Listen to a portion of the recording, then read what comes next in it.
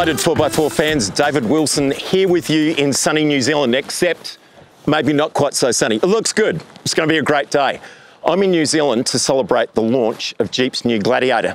Now, in issue 9, Steen, our illustrious editor, revealed the Wrangler Rubicon. He said it was the best four-wheel drive he's ever driven. I had it for a couple of days and I thought it was pretty good.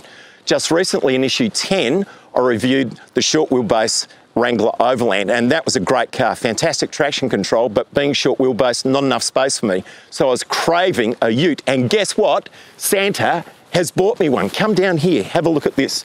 The new Jeep Gladiator, and it's in my favourite current colour, Hemi Orange. Actually, I'm not quite sure what the colour is called, but it looks resplendent in this fantastic orange paintwork. And today we're going to go put it to the test properly off-road big boulders, raging streams. I can't wait to get stuck into it. So more coming up in just a sec.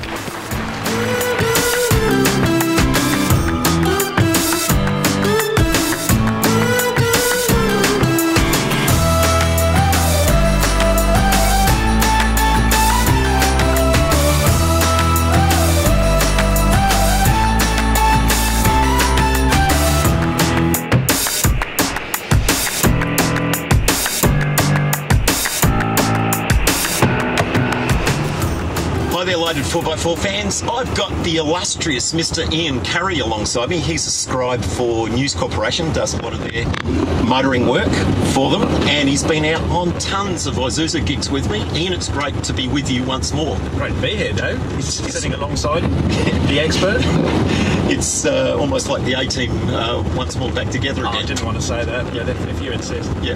Now, why are we here in New Zealand, of all places? Well, it's the Jeep Gladiator, isn't it? Yeah. And, uh, it's a pretty rough ready, rugged country, and um, guess that's the ideal place to launch a, vehicle like this. It is. I, I think Jeep internationally, um, because folk are coming in from all over the world to participate in this event during the course of a week, I think they've picked an amazing place to do it. I mean, right now we're driving down this dusty road with a dozen, 14 gladiators in front of us, and there's these snow-capped peaks, these beautiful pine trees, all this farm wilderness. It's an astonishing place.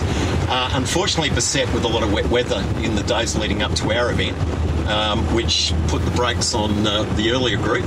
But it hasn't really held us up, has it? No, I think that's the whole point of these Jeeps. If you, I think Jeep play on that as well. You choose your adventure, and if you get stuck with stuff like uh, flooding and rocks across the path, I think they, they go, it's fine. We just find a, an alternative route, or just going. drive straight over the top of them. Try their best. Yeah, certainly yeah. fording uh, rivers and flooded roads is, has been no problem whatsoever. So, yeah, um, it's kind of added to the, the Jeep adventure experience. Correct.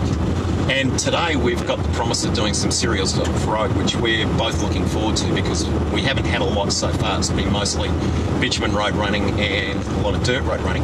And I, I might just ask you, because you're the, the serious uh, uh, wheel turner when it comes to going fast in exotic cars, how would you rate the handling dynamics on road of the Gladiator? Well, I suppose, as with every dual cab you, there's limitations, of course. Um, so for such a, a, popular vehicle segment now, um, you, have got to have one eye on. Yeah, it has to be a seriously competent off-road, but yeah, on-road as well. You've got to live with it day to day. Because so many people use them as day-to-day transport. Yeah. And this Gladiator I'd say it's a, a, good 20, 30 centimetres longer than most dual cab utes. Yep. Um, whether that's helping the on road, I'm not sure, but I'd love to test it alongside some of our market leaders like the Ranger and the, the Hilux on road. And certainly, it's it's we've not been sat here complaining. No, much, no. In it's fact, not bouncing around. We've we've swapped notes about how composed it's been on, on all sorts of surfaces. There was only a couple of times on some choppy bitumen where it started to get a bit of a porpoise going. Indeed. But for the most part, it's been really good. And of course, when we chucked the wombat test at it, it hung on like grim death, didn't the, it? The David Wilson wombat test was not pre-approved. It's just like hang on to something. Yeah, yeah. But, but anyway, no, no big oversteer moments, no understeer moments. So not bad for a vehicle that's running light truck all-terrain tyres. I'd, I'd, say I'd be totally happy living with this day to day. Just apart from its size, of course. If, if you're living with it in, in, the town or the city, it's yeah. going to be a pain yeah. to park and manoeuvre. The turning circle is quite yeah. spectacularly barge-like. But uh, you're buying it for the carrying potential. Absolutely. Yeah. I'd say a lot of people will be using it in this sort of wilderness where the size doesn't matter. Doesn't matter, yeah. I'd say was the payload 650 kilograms. It wasn't as much as we were hoping for. No, I'd say. Um, and I had a bit of a chat to the engineers yesterday about whether there'd be some sort of upgrade on Right. that. And they were playing a bit coy on it, so maybe the aftermarket might have to pick that one up and uh, come up with spring rates that might carry a bit more load. Indeed. Because it looks like the chassis is up for it, because that's massive underneath the car. What I would say is if, much like other dual cab use, once you do throw a few hundred kilograms in the back, it, it normally settles things even. more. Yeah. And I'd say this this would be exactly the same thing. So I don't know if, if tradies, for example, would be in a Gladiator Weatherby throwing in the, the mulch and the, the workside crap, Yeah. or if it is just going to be for your, your trail bikes Yeah. and, and that sort of kit. So say it's more lifestyle. Yeah, maybe if you're a chippy, you'd have it in a, a trailer type behind you. Maybe keeps a lot of stuff at the back of the ute. Yeah, all right. Well, we look forward to our off-road segment. Oh, you can do that, bit. You're the expert.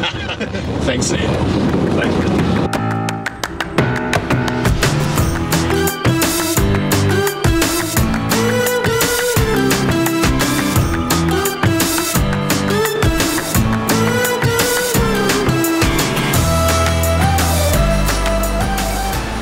New Zealand, it is epic. It is huge. Look at this landscape around me, and it's made all the better with the new Jeep Gladiator. Now, I started my day in a Rubicon back there, finished up in the Overland, and I have to tell you, the Overland has gone everywhere the Rubicon went, despite the fact it hasn't got the double diff locks and it's got the passenger car tyres. But it is a great truck, traction control tuned up a treat, walked over the lumps and bumps easy peasy. It's a great machine, and I can't wait to get it back home to Australia, up in the Flinders Ranges, going up in our desert country and up those scrabbly old loose shaly hills. It should be pretty epic. So keep an eye out for that one coming up soon. In the meantime, Jeep Gladiator, love your work.